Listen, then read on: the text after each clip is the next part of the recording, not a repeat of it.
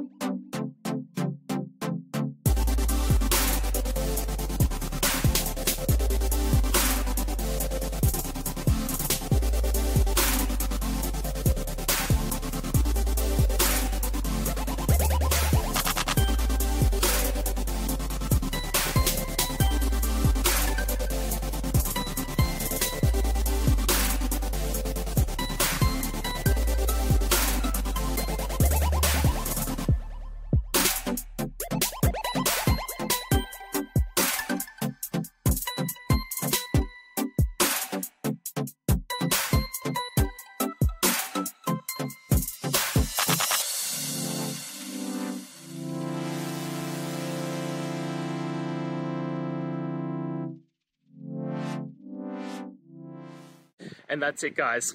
I hope we've gone through the question and found that solution you're looking for. And look, if we did, please hit subscribe. I'd really appreciate it. And until the next time you need technical help, I hope you have a good one. Cheers.